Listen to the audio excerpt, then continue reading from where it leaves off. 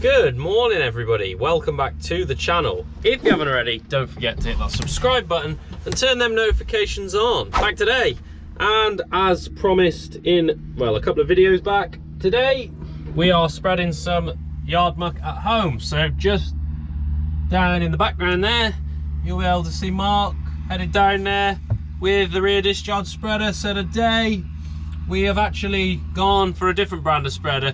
Uh, usually we hire a Bunnings spreader off a local lad to us, but he's busy using it at the moment and we need to get this muck on. So we've travelled a little bit further afield. We've actually been to MP Hire at Wem for any of you, because I know a few of you do know of this company.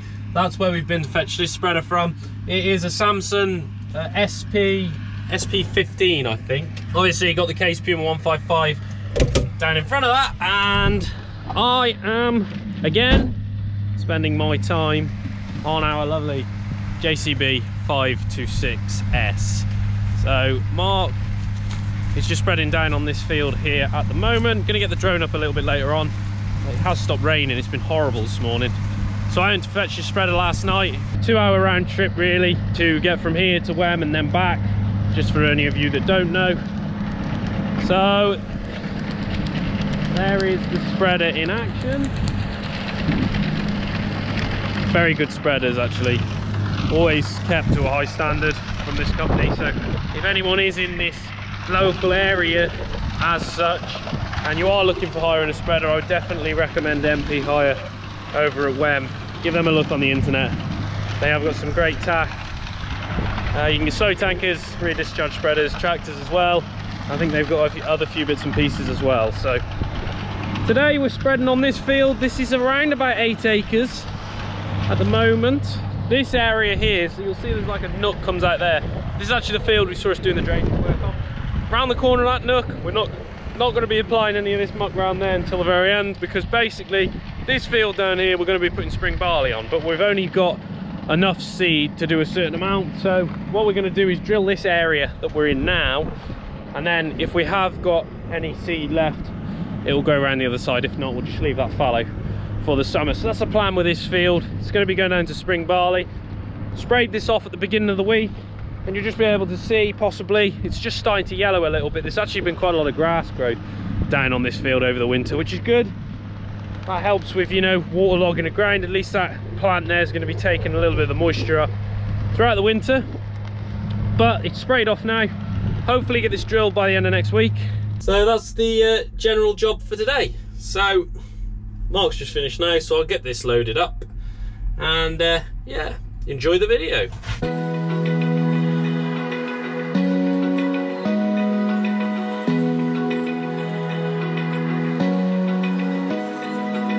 Open eye, feel the waves cut through me, hypnotized by the sounds I'm breathing hold tight,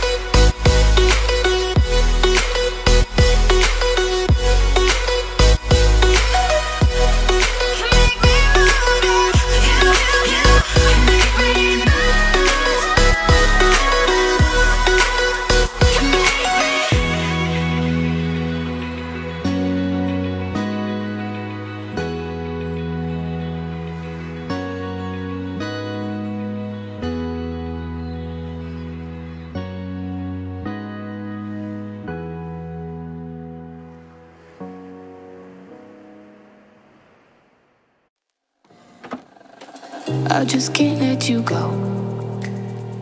Lord knows that I've tried to. You said I was the only one. No one likes being lied to. You made this mess and left me with the pieces. Now I wanna burn all the bridges between us.